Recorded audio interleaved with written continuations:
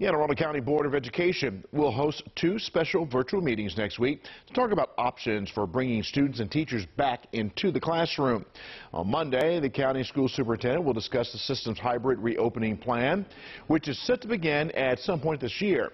Then on Tuesday, the board will hear about two plans focused on getting high school athletes back on the field.